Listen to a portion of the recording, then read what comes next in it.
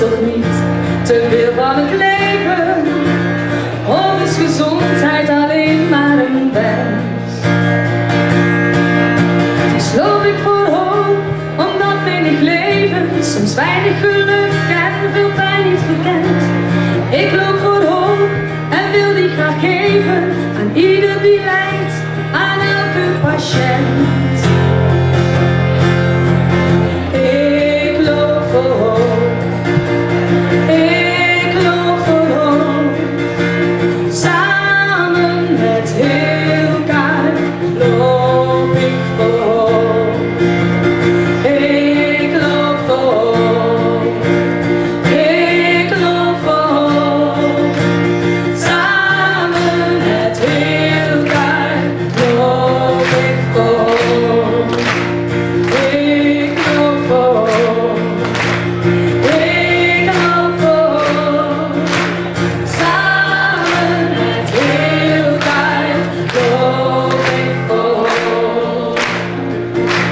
De weg is nog lang, die ik moet lopen, maar ik krijg kracht door het idee dat door mijn tocht weer mensen gaan hopen en kunnen zeggen mijn leven telt mee.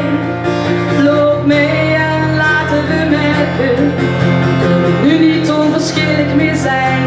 Laat deze hoop